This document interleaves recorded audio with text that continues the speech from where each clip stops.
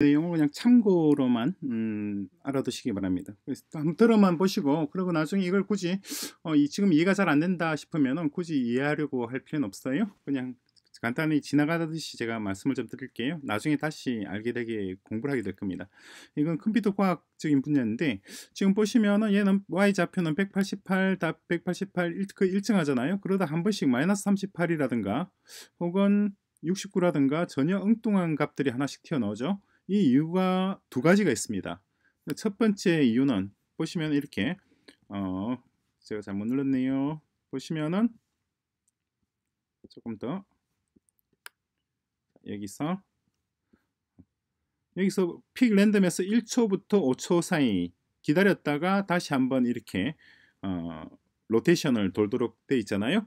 그래서 어, 여기 저기 에너미가 에너미 2죠. 에너미 2가 먼저 만들어지자마자 얘가 딱 실행이 돼요. 그렇죠? 그리고 실행되는데 이 실행되는 시점이 그 시점이 우리가 200에서 시작을 했었잖아요. 제일 먼저 어디인가요? 보시다시피 y좌표 200입니다. 200에서 시작을 했는데 어쨌거나 이 코드가 실행되는 시점 그 시점에는 지금 이 경우에는 이 경우에는 y좌표가 188이나 189에 내려왔을 때라는 거죠. 그죠? 그럼 좌표가 한 10 정도가 모자라잖아요. 작잖아요. 그 작은 이유는 그 사이에 컴퓨터가 다른 작업을 했기 때문에 그런 거예요. 다른 작업. 그러니까 인터벌이 생긴 겁니다. 이해되시나요? 그러니까 지금 보시면은 작업 어, 분리 카운트를 1만큼 바꿔주기도 하고 그리고 위에 또 이런 동작도 하고 이런 동작을 하고 있잖아요. 그런 동작을 하다가 어, 실제로 컴퓨터가 이 값들을 포지션에 넣고 넣고 넣고 하는 때는 그때는 이미 조금 시간이 지났을 때고 시간이 좀 지나다 보니까 이미 enemy 2는 이만큼 내려왔을 때란 말이에요. 근데 중간에 엉뚱하게 69라든가 마이너스 38이라고 하는 숫자가 있는 경우는 뭐냐는 거죠. 그 이유는 여기 pick random 가장 큰 이유는 pick random 밑에 있는 이 내용입니다. pick random 1초에서 5초 사이를 중에서 선택을 하잖아요. 어떤 클론은 이 짧게 1초나 2초 만에 1초나 2초를 선택한 거예요. 그럼 다시 위로 돌아가게 되겠죠. 돌아가서 또 다시 여기 값을 불러오게 될 거 아니에요. 그때쯤이면 이 클론은 많이 내려와 있을 거 아니에요. 많이 움직였을 거 아니에요. 그죠? 그렇게 많이 움직였을 때는 이 엉뚱한 값이 튀어나오게 되는. 마이너스 38이나 69처럼. 그죠? 마이너스 38은 그럼 69와 마이너스 38 중에서 어떤 경우가 이 랜덤 값 선택한 값이 더 작은 값이 되죠? 1에서 5 중에서 더 작은 값이 어떤 경우예요? 이 여기서 지금 5번 분릿을 만든 경우와 그리고 8번 분릿을 만든 경우 그렇죠? 8번이 더 짧은 값을 선택하는 거죠. 예를 들어서 8번이 어, 8번이 2초였다고 한다면은 마이너스 38은 한 3초 정도 되는 거죠. 4초 정도 되는 경우는 아예 밑으로 빠져나와 버리고 그리고 걔는 없단 말이에요. 없으니까 다시 어, 포르프가 다시 돌진 않는 거예요. 어떤 의미인지 이해가 되시나요?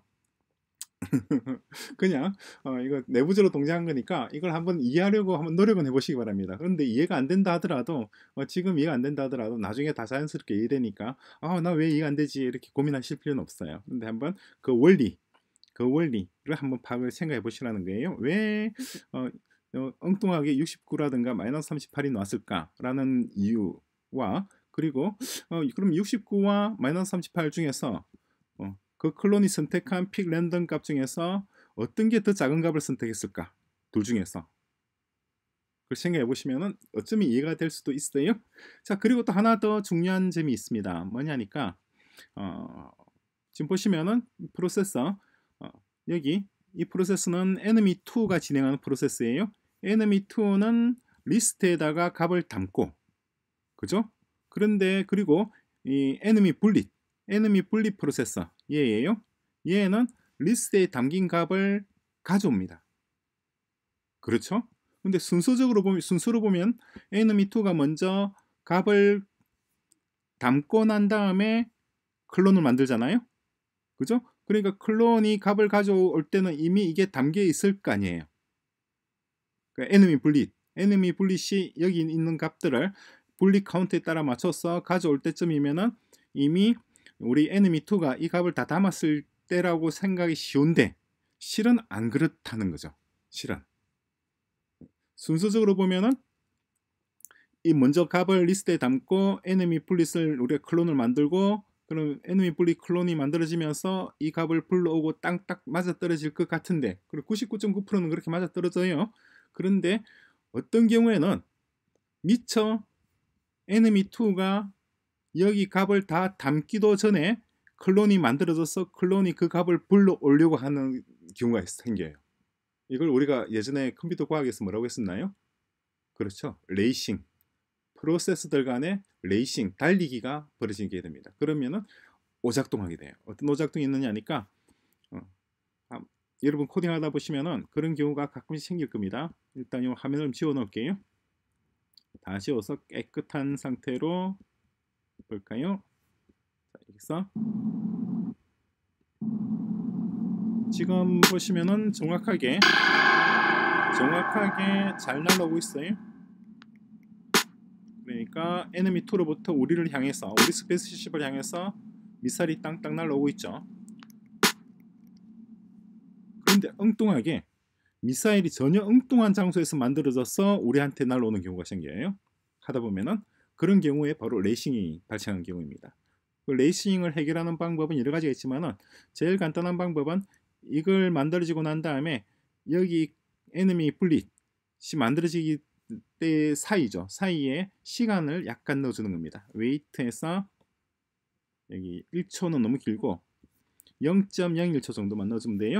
0.01초 이렇게 넣어주게 되면은 0.01초는 사람들한테는 아주 짧은 시간이지만 컴퓨터한테는 상당히 긴 시간이에요. 그래서 0.01초 동안에 어, 이 enemy 2가 이 리스트에다 이걸 담는 작업을 다 마무리를 지을 수가 있어요. 나중에 코딩 하시다가 어 이건 전혀 오류가 날 이유가 없는데 왜 오류가 나지? 어 예를 들어서 왜, 왜 enemy 2로부터 분리시 enemy 2로부터 발생되는 것이 아니라 엉뚱한 장소에서 만들어져서 날라오지 하는 그런 이상한 경우가 발생하게 되면은 바로 이런 레이싱을 제일 먼저 의심해 보시는 것이 타당합니다.